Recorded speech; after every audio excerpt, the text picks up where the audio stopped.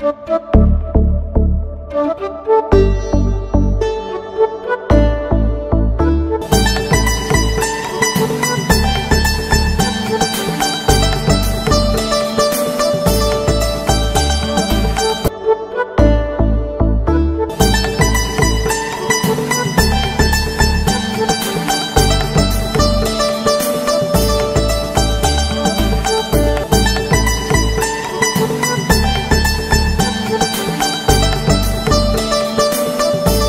வணக்கம் என் பேர் முத்துராஜ். நாங்கள் சென்னையிலேருந்து வந்திருக்கோம். ஸோ இங்கே ஒரு மூணு நாள் கேம்புக்கு வந்திருக்கோம். ஸோ இங்கே வந்து தெரியாத வினாக்கள் எல்லாமே ஒரு விடை கிடச்சிது.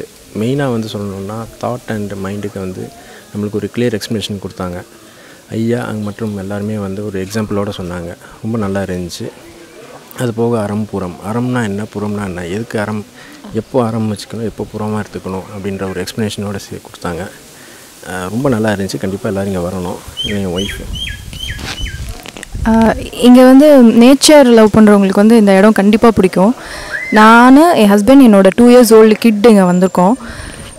இது வந்து ஒரு ரிமோட் பிளேஸுங்கிறதுனால சுற்றி ட்ரீஸு மவுண்டெயின்ஸ்க்கு நடுவில் இருக்கும்.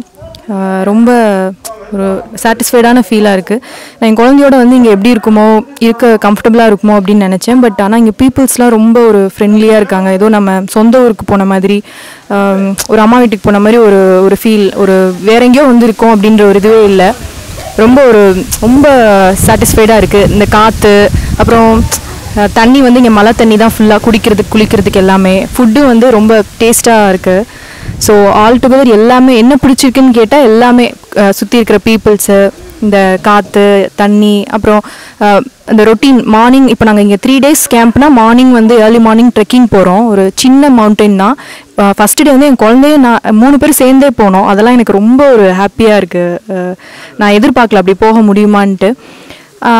அது அப்புறம் ஈவினிங் வாக்கிங் போகிறது அப்புறம் ஐயா பேசுகிறது வந்து அது ஒரு சின்ன கான்செப்ட் தான் இருந்தாலும் அதை அது ஒரு ஷார்ட்டாக சொன்னால் நம்மளால் புரிஞ்சுக்க முடியாது. யா- அது வந்து இந்த மாதிரி ஒரு டீட்டெயிலாக சொல்கிறப்போ அது ரீச் ஆகுது.